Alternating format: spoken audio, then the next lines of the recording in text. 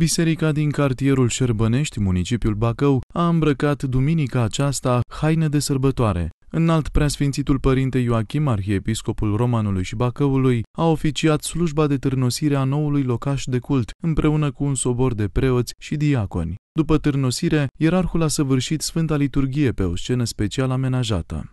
Acest chivot care se așează aici, în cartierul acesta al municipiului Bacău, vine să întregească salba de mărgăritare sfinte pe care frățiile voastre, în calitate de bun credincioși ai acestei urbe, ai bisericii noastre ortodoxe, l-ați pregătit pentru a fi într-adevăr un loc de întâlnire cu Dumnezeu.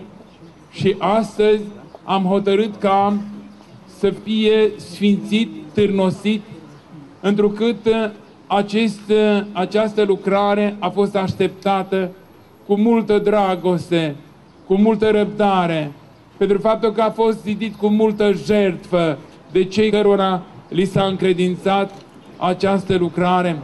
Iar astăzi, cei care au contribuit la înălțarea acestui Sfânt Locaș să se considere urmași ai voievozilor, ctitori de locașuri sfinte, urmași ai înaintașilor, ai celor care ne-au lăsat tradiția sfântă, încărcată de atâtea semnificații pentru, pentru națiunea noastră, pentru cultura noastră, dar mai curând pentru credința noastră cea dreaptă în Dumnezeu.